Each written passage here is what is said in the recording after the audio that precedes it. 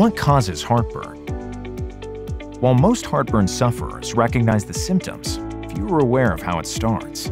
The lower esophageal sphincter is a band of muscle at the bottom of your esophagus. It's kind of like the doorway to your stomach and is only supposed to open to let food and liquid flow through. But sometimes it opens too often or doesn't close properly. When this happens, the acid in your stomach backs up into your esophagus, causing heartburn. Foods that may trigger heartburn.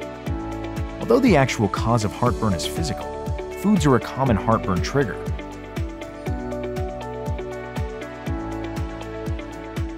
Habits that may trigger heartburn.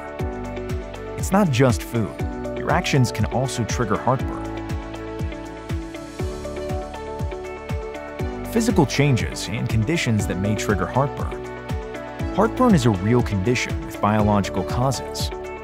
Here are some conditions which could leave you at an increased risk of heartburn. Medications that may trigger heartburn.